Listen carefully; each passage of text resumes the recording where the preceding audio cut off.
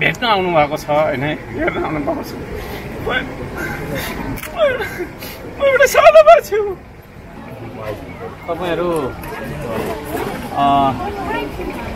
Miss Dharan भन्ने एउटा प्रतियोगिता कसै प्रतिस्पर्धीहरू सबैजनालाई म बेस्ट विसेस भन्न चाहन्छु। तपाईँहरू अत्यन्त सुन्दर मान्छे हाम्रो धरानको। होइन? तपाईँहरूको मन पनि त्यस्तै सुन्दर हुनुपर्छ। होइन? आउटर लुकले मात्रै होइन भित्रबाट होइन इनर क्वालिटिज पनि तपाईँहरूको त्यत्तिकै राम्रो हुनुपर्छ। म त के भन्छु भने अब हामीले यो वृक्षरोपण गर्दैछौँ। त्यसमा तपाईँहरू वृक्षको तपाईँको चाहिँ बिरुवासहित आउनुभएको छ। धरानलाई सफा सुन्दर हराभरा सबै थोक भएको सहर बनाउनुपर्छ यसको लागि चाहिँ हामीले मैले चुनावमा उड्दै गर्दा पाँच हजार बिरुवा रोप्छु भनेको यसो हिसाबले त एक करोड बिरुवा रोप्ने रहेछौँ। पाँच हजार त होइन दस हजार कटिसक्यो यसपालि है? अझै अब बर्सातको मौसम बाँकी नै छ। त्यसले गर्दाखेरि अब एक करोड बिरुवा रोप्छौँ हामी। तपाईँहरूले पनि रोप्नुहोस् है? पाँच दस करोड बिरुवा रोपौँ यहाँ। र मैले बारम्बार भन्ने गरेको छु फेरि एकचोटि भन्छु म हिउँदमा आउँदाखेरि पनि यो खोलामा पानी हुनुपर्छ। है? यो खोलामा हिउँदमा चैत वैशाखमा आउँदा पनि कलकलाउँदो रसिलो पानी बगिरहेको हुनुपर्छ। त्यसको लागि चाहिँ हामीले वृक्ष रोप्नुपर्छ। नमस्ते झरनामा चाहिँ पानी हुने चैत वैशाखमा सर्दोमा किन नहुने? वाट इज द रिजन भन्दाखेरि द रिजन इज हामीले जलाधार क्षेत्रलाई मेरो तेरो भनेर फिता नापेर के अरे नापेर चाहिँ काटेर खान खोजिराखेको पनि देखिरहेका छौँ। त्यस्ता मान्छेहरूलाई पनि हामीले खबरदारी गर्नु छ। र यो क्षेत्रमा घना जङ्गल बनाउनुपर्छ। घना जङ्गल बनाउनुपर्छ। फलफुलको बिरुवाहरू यतैभरि रोप्नुपर्छ है। कसले खान्छ भनेसँग सरकार नराख्नुहोस्। जोसुकैले खाओस्। फलोस्। हाम्रो काम भनेको रोप्ने फुलाउने फलाउने। कसले टिप्छ कसले खान्छ। That is not our concern यसरी धरान अगाडि बढ्नुपर्छ अब। र यो एउटा हाम्रो चाहिँ सङ्कल्पलाई तपाईँहरू जस्तो किशोरीहरूले अब यहाँ जति पनि देख्दैछु म मसिना भान्जीहरू आउनुभएको छ छोरीहरू आउनुभएको छ है?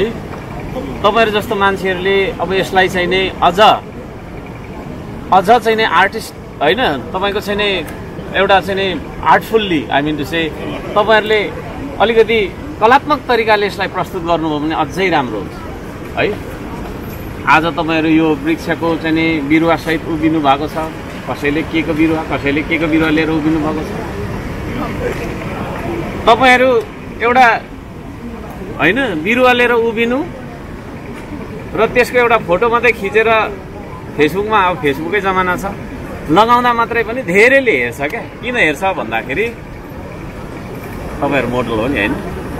के को हो model who is a model भन्दाखेरि मोडल भनेको चाहिँ एउटा सो पिस हो। है? है यस्तो हुनुपर्छ भन्ने। होइन? कुराको एउटा चाहिँ नि प्रस्तुत गर्ने मान्छे एउटा तपाईँको चाहिँ नि प्रस्तुतिकर्तालाई चाहिँ हामी मोडल भन्छौँ। है? त्यसले गर्दाखेरि तपाईँहरू सबैजना सफल बन्नुहोस् यो उसमा। अब त्यसो भन्दाखेरि यो कन्टेस्टेन्टमा सबैजना विनर त हुनुहुन्न पक्कै पनि। होइन? यति यति मध्येमा एकजना विनर हुन्छ होइन? एकजना रनरअप होला होइन? फर्स्ट सेकेन्ड यसरी चाहिँ जान्छ होला। तर तपाईँहरू सबैजना उत्तिकै राम्रो मान्छे उत्तिकै ब्युटिफुल होइन? हुनुहुन्छ। उत्तिकै इन्टेलिजेन्ट हुनुहुन्छ। उत्तिकै तपाईँको छैन सबै गुणले सम्पन्न हुनुहुन्छ भन्ने मलाई चाहिँ लागेको छ। त्यसले गर्दाखेरि म यस्तो त्यस्तो भनेर चाहिँ नै गर्ने छैन। तपाईँहरू सबैजना विनर्स हो। है? तपाईँजना सबैजना विनर्स हो। तपाईँहरूको सोच विचार सुन्दर हुनुपर्छ। है? र यो चाहिँ एउटा सुन्दरताको मात्रै नभएर ट्यालेन्टको पनि प्रतियोगि प्रतियोगिता हो। है? फेसियलले पनि तपाईँहरू कति धेरै सुन्दर हुनु साँच्ची हो। आई एप्रिसिएट है? भित्रबाट अन्तर्हृदयबाट पनि तपाईँहरू सुन्दर हुनुहुन्छ भन्ने नै मलाई विश्वास र भित्रबाट तपाईँ सुन्दर हुनुहुन्छ हुनुहुन्न भन्ने कुरा चाहिँ फेरि तपाईँको व्यवहारमा भर होइन? तपाईँको बोलीमा भर पर्छ है what you think what you speak and how you deal with the people that shows your internal inner beauty so internally तपाईँहरू ब्युटिफुल हुनुहुन्छ हुनुहुन्न भन्ने कुरा चाहिँ मैले भने how you think what you think how you speak, what you speak, and how you deal with the people, that determines whether you are internally beautiful or not. त्यसले गर्दाखेरि आजदेखि उपरान्त तपाईँहरूलाई पनि म एउटा प्रेरणा के दिन्छु भने मेरो एउटा गीत छ देश सोच्न सकौँ म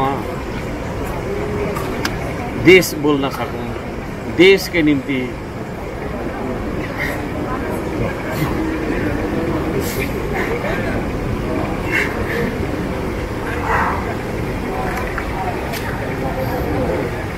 देशकै कर्म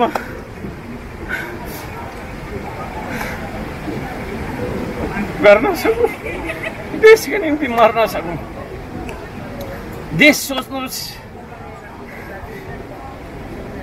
आम सरी म भावुक भने सो सरी म तपाईँहरूलाई प्रेरणा दिन यहाँ आएको आफै भावुक भने जोस्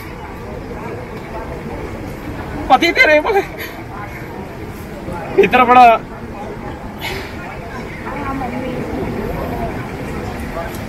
खुसी लाग्छ मलाई। आज देश विदेशबाट भेट्न आउनु भएको छ होइन? हेर्न आउनु भएको छ। म- म एउटा सानो मान्छे हो। म एउटा सानो मान्छे हो। तपाईँहरूले मलाई असाधारण ठानिदिनु भएको छ। दिस इज माई ह्याप्पिनेस देश सोच्नुहोस्। देशकै लागि कर्म गर्नुहोस्। र एक दिन मर्नु पर्दा पनि तपाईँहरू देशकै निम्ति मर्नुपर्छ भन्ने म प्रेरणा दिन चाहन्छु।